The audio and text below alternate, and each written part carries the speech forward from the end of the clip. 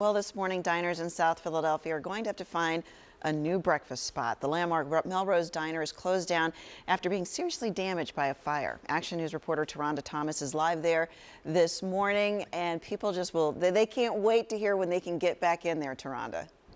I know. They were here yesterday asking when this place would reopen and re reminiscing about all the good dishes that they would have here. I want to show you what happened because this place normally would be open now, but it's closed because of this fire. 24 hour diner now reduced to some of this, like the rubble that's down on the ground. That came from up there. Look at the roof of the Melrose Diner.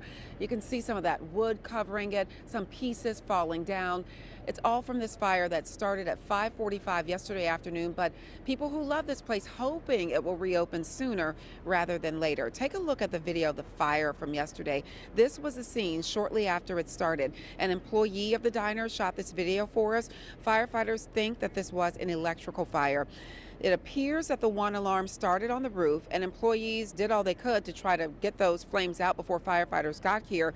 They did work quickly. Everyone got out safely, but as word spread about the fire, loyal customers of the diner, which has been open since 1935, started showing up in the parking lot. They talked about the famous butter cookies, cakes, and dishes, and most importantly, the employees. They save our seats. We're here sometime an hour and a half just talking. We met many nice people.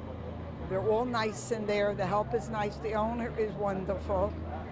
We have a good time. We're gonna fix it again as soon as possible and go back to normal. So that was the owner you just heard from. Look at the sign they put up in the window saying they'll be at Broad Street until further notice, just so people know where they can find those employees. Uh, that owner hopes that he could have this diner open as early as next week. That's very ambitious because originally he thought it may be months before he reopens, but certainly it would be welcome news if they did open next week since those employees are now working about a mile away at that Broad Street location and loyal customers can't wait to come back.